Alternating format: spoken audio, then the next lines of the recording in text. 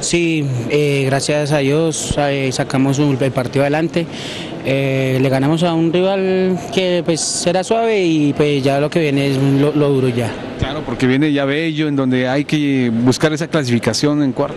Sí, sabemos que es un rival muy fuerte y toca trabajar toda la semana para sacar el- un buen resultado de, de los de visita. En estos playoffs, usted como hombre de experiencia, ¿cómo analiza ese rival que viene?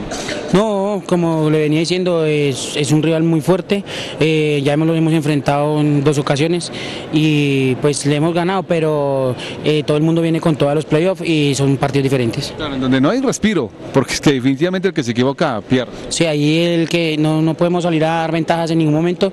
eh, si, si cualquiera se equivoca, parpadea en un momento y ahí nos sacan o, o los sacamos a ellos. Lo es que Leones tiene equipo, ¿no? Sí, tenemos, como se dieron cuenta, los muchachos de acá y, y los de afuera, todos somos un muy buen equipo y eh, todos nos vamos a apoyar.